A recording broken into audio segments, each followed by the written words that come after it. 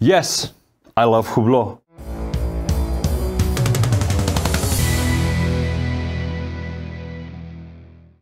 Hello, welcome to Swiss Watch Gang. Today we're gonna unbox a very eccentric and special watch. We're gonna talk about a brand which is very hated online. I don't know really why, because I cannot relate to that.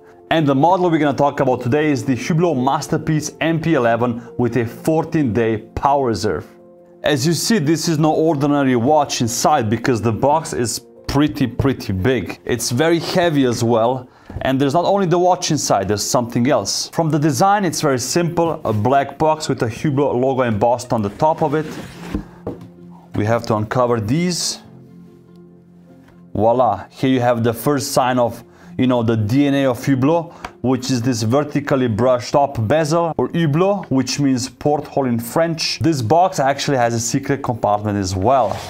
If we show it like here, here you go, you pull out this part, there's, you know, a little brochure. The certificate of authenticity here, you can see the watch on a nice, you know, see-through pamphlet, signature of the CEO, which is Ricardo Guadalupe, and that's it. But something special is below this. We've got a USB charging cable, and this is actually used for this thing. This is a sort of a screwdriver with which you can actually wind the watch. As I said at the beginning, this watch is a 14-day power reserve, so imagine winding it via the crown would be pretty annoying. That's why they give you this. You press a button with the Hublot sign on it, and it turns. I'm gonna demonstrate this later on the watch so you see how it works. And if we now open the top lid of the box, you'll see there's a nice leather, you know, pouch above something and voila, the Hublot MP11 from the Masterpiece collection. This video is unfortunately not sponsored by Hublot watches. I'm not forced to make it, there's no gun on my head, but I just love the brand. I am an owner of a Hublot watch already. As you might have noticed, I have my Hublot Lab Fusion here on the side, which is a Singapore Watch Club edition. I made a video about it, I wear it a lot, and also I'm very proud of it. This is by the way not the last Hublot I'm gonna buy. I'm looking to purchase a Richard Orlinski edition with a very cool dial.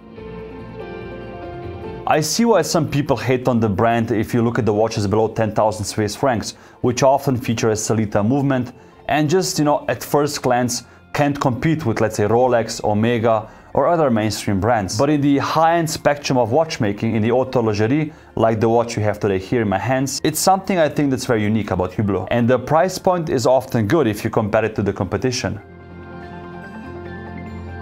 Hublot was founded in 1980 by an Italian guy named Carlo Crocco. In 2004, the godfather of the watchmaking industry, Mr. Jean-Claude Biver, came on board. At the time, Hublot was producing around 9,000 watches for an average retail price of 2,000 US dollars which is nothing if you compare it to today's watches, and especially the watch we're to talk about today. The estimated revenue at the time was around 24 million Swiss francs. In 2005 at Baselworld, Hublot presented the Hublot Big Bang, which really made a big bang. It was a combination of materials and the start of the art of fusion for the brand. The last revenue numbers I could find were from 2018 and Hublot made a staggering $625 million for the group. This is the power of Jean-Claude Biver, who many know as the you know, savior of brands. He started off at AP, then went to Omega, bought Blancpain, sold it to the Swatch Group for 60 million, went to Hublot, then became head of the LVMH watchmaking division, and so on. This man is a pure legend, and thankfully I met him once at Baselworld. The main characteristics of this watch, except the cool appeal, is the long power reserve. Some other watches who have a long power reserve are, for example, the Vacheron Constantin Patrimony Traditionnel, Tourbillon, which is a 14-day power reserve. Then we've got the Bovet Amadeo Fleurier Tourbillon Braveheart, which has a 22-day power reserve. You might know the Jacob & Co. Quenttin watch, which we had in the channel as well, which has a 31-day power reserve. Then you've got the famous A. Lange & 31, the Hublot MP07 with a 40-day power reserve. Then we go into the second place with the Hublot Masterpiece MP5 La Ferrari, one of my favorite watches, which is a very cool winding pistol, which is a 50 days power reserve. And so far, the one with the biggest power reserve, the Vacheron Constantin Traditionnel twin-beat perpetual calendar with a 65 days power reserve. The model we have here on hands is actually made out of 3D carbon. It's woven carbon with three layers. And on the side of the case, around the whole periphery of it, you see a black sapphire window, Through this window you can actually see the movement from the side and also the barrels here. If you remove the strap, because it has a quick strap change button here, you can see it from the bottom as well. So again, the sapphire crystal is sandwiched between the front and the back case. Hublot is known for the art of fusion and also creating new materials and utilizing others. This model also comes in a few different examples. There's a full sapphire version, a blue sapphire version, a green SAXEM version. You've got an 18 karat king gold with a 3D carbon bezel.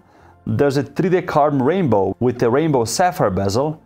You've got one in magic gold, red ceramic, and for those who want to be a bit more flashy, the diamond version as well. What's also typical about this watch is you can see also on the box here that we have the Hublot shaped screws. We have six on the bezel, four on the lugs and also four on the side of the case with the crown and on the other side. The dial is actually very easy to read. The whole dial is here at 12 o'clock. As you can see the movement is skeletonized so you can see through it. The dial looks like it's floating above the movement and below the sapphire crystal. You can find Swiss Superluminova on the indexes and also the hour and minute hand as well as on the days of the power reserve. What is a bit funny about this watch though is that the day of the power reserve here is actually almost instantly visible and the dial is maybe on the second place. Maybe they just wanted to advertise this fact a bit more, but I think the dial is slightly unproportional to the whole watch.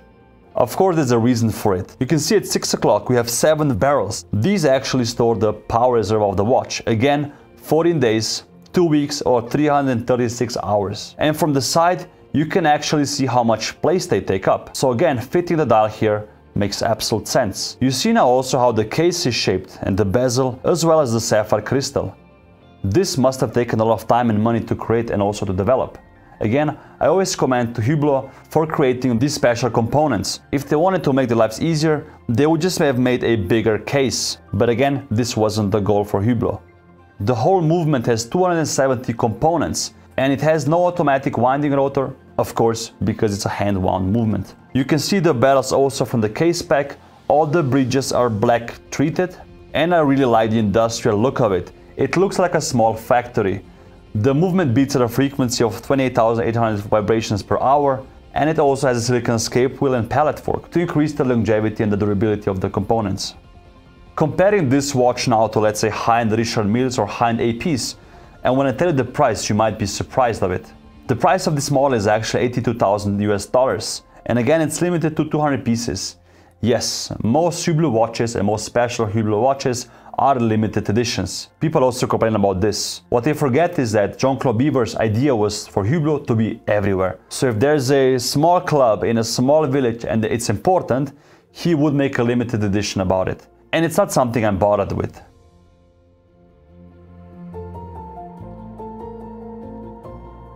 Let's now come to the most interesting part of this whole review, winding the movement. Again, you can do it via this big rubber crown here, but it might take you quite some time. Or you take this screwdriver like gadget, you push it in the crown like this, you press a button, and here we go. Now you wind the watch, and it's going a bit quicker than if you do it with your hands. Again, 14 days of power reserve, it's not nothing. So you gotta be patient and you'll be happy that you wind it fully. As you can see, we just wound the watch for two days, which would have taken us quite a few turns with the crown.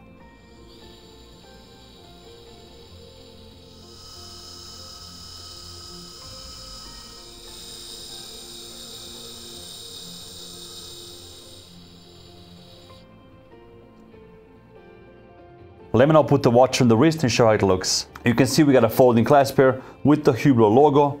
And when I close it, you have the Hublot logo here as well. Turning the watch around, you can see its height. The point where the barrels are, the height is actually 17.4 millimeters. And where there's no barrels on the dial, the height is 15 millimeters. The diameter of the watch is 45 millimeters, which from my wrist is no problem. If you have a smaller wrist though, this might be an issue. As you can see, the strap is really ergonomic and it hugs the wrist.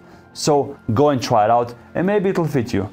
Lug to lug, I measured 57.8 millimeters, and if we take this measurement where the straps are, it's 70 millimeters. And because this is a 3D carbon case, the watch is extremely light.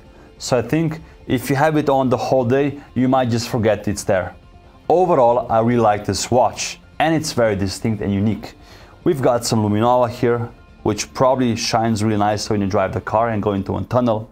You have this cool screwdriver where you can make some cool videos with it to wind the watch.